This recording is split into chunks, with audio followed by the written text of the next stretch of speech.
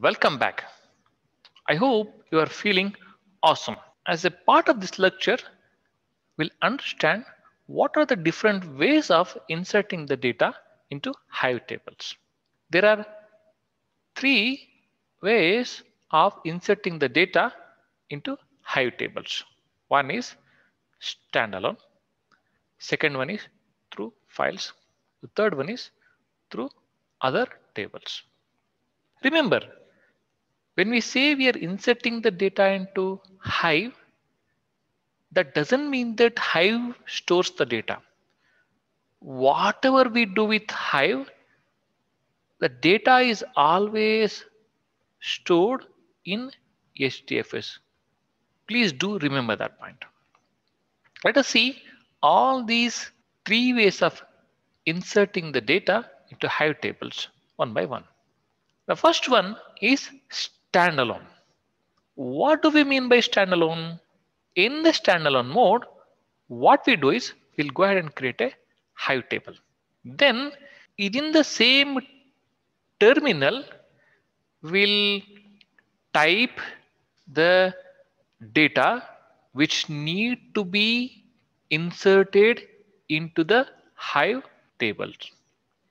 That is why it is called as a standalone mode of inserting the data.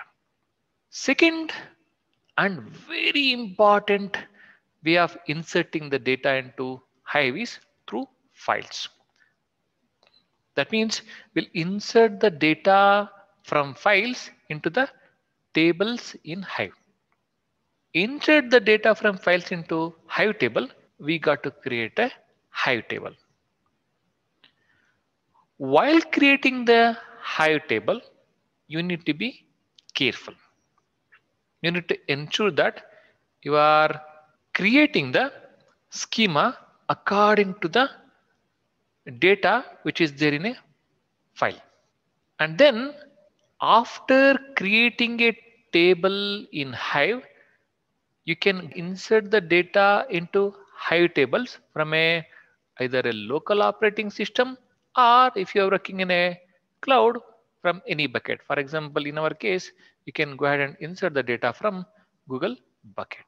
Apart from inserting the data from local operating system or a Google Bucket, we can also insert the data into Hive tables from a file in HDFS.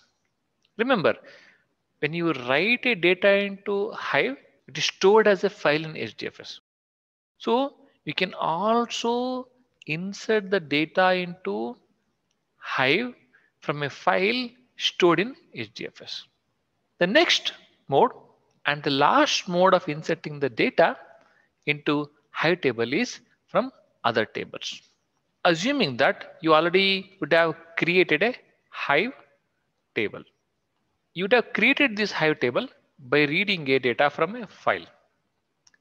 This has assumed some 100 columns. You would create one more Hive table with some 20 columns. It may be subset of this.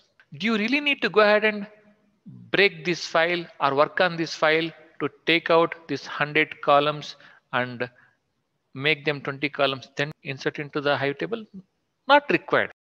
You already have a Hive table created from these 100 columns by reading this file. All you can do is you can read the relevant data from this Hive table with 100 columns into a Hive table with 20 columns. Isn't it wonderful? Awesome. Thank you very much. You have a wonderful time.